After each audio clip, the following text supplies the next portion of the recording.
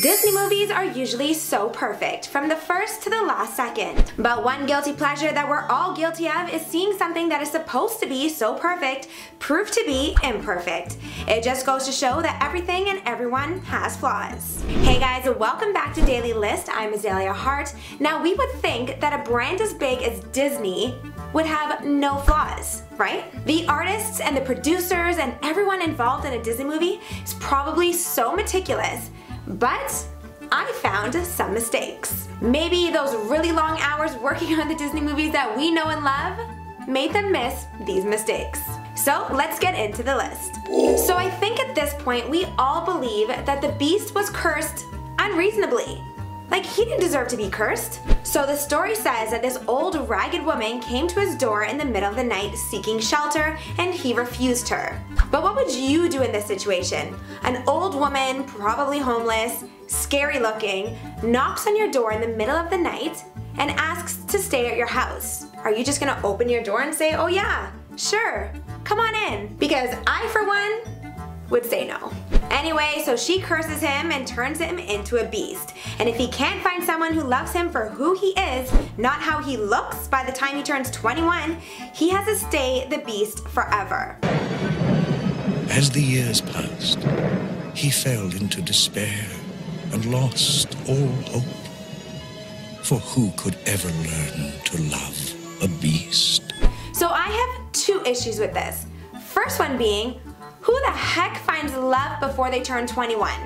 Real love, true love, and two, brings me to my next point. So apparently this whole story of him not letting the woman in the house happened 10 years before the story we watched happen when he met Belle. So he was running out of time. Since the passing of time then, that means he was 10 or 11 years old when he was cursed. So all of those stained glass images of him turning away the old witch as an adult can't exist.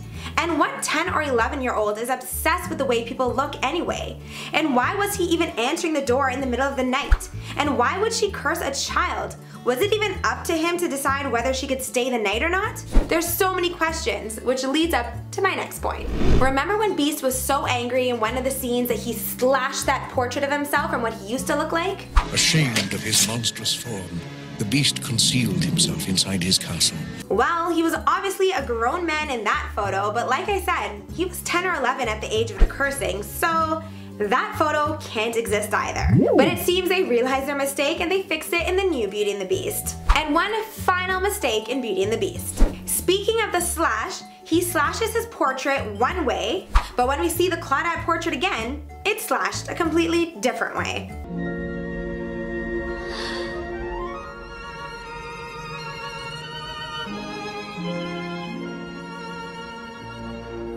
When Pocahontas goes to see John Smith after he's captured by the tribe, she's holding hands with her friend, clearly. But take a look at their shadows.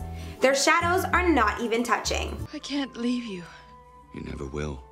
No matter what happens to me, I'll always be with you. In this scene, Princess Jasmine's awesome gold armband keeps switching arms. Get the lamp! No! Ah, princess! Tiana was wearing earrings. Oh, there they are. Wait, they're gone again. Tia, it's getting to be so late. There's still a few stragglers. It's just no fair. My prince is never coming. For Mulan, I just have one question about this scene. Fulfill your duties calmly and respectfully. How did Mulan take out the fire that was on that woman's butt by throwing hot tea in her face?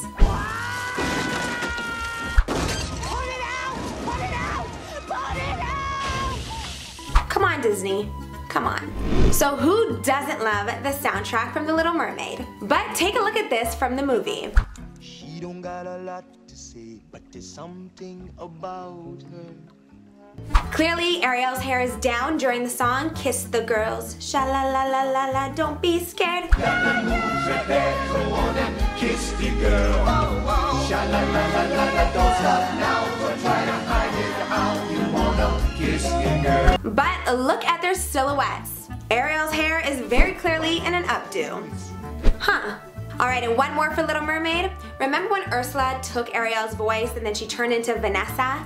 Well, take a look at this scene. Vanessa stomped on her dressing table and smashed a pink jar that wasn't even there in the beginning.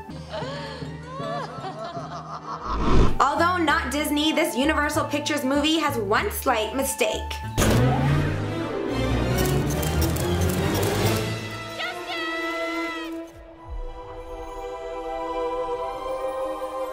Did you guys catch that? He had the airplane in his left hand the entire time, even when he fell. So when did he even have time to switch hands during that fall? One more non-Disney movie, Cloudy with a Chance of Meatballs. Cal is so excited here that he woke up in his pajamas, as we all do, jumped out of bed to see the ice cream fantasy world outside, wiped the window, but somehow put on his jacket super fast. In this scene where Flynn cut Rapunzel's hair, he had shackles on. Then, no shackles when he caressed her face. But then, his shackles appeared again when he goes to cut her hair.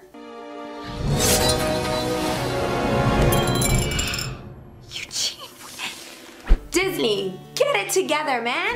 Anyway, these small mistakes does not take the beautiful wonder out of our favorite Disney movies. They're still gonna be our favorites and we're gonna watch them in awe every single time. So that's it for this episode of Daily List 12 Disney movie mistakes. And if you have some mistakes that you know that happened to Disney movies that I didn't put on this list, comment down below and let me know what they are. Be sure to subscribe so you don't miss an episode and follow me on social media and I'll see you guys next time.